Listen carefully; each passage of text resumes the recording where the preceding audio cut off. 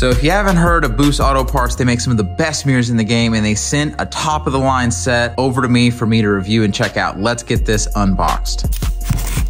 So these are the best mirrors in the game, and what makes them so good? A few things. Number one, this full glass piece is completely heated. The other thing is that it's got a power fold feature, and you get this smoked switchback marker light here, which is awesome. So these look great. Let's go ahead and get them installed. And as far as what you need to get these all hooked up, Boost Auto has a fantastic video on their website that you can watch that shows you exactly how to hook these up. And then, check that out, man.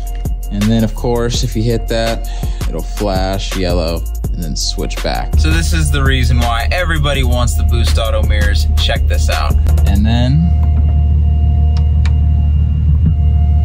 dude, that is so cool. Definitely go to Boost Auto's website because these are the best third gen mirrors in the game.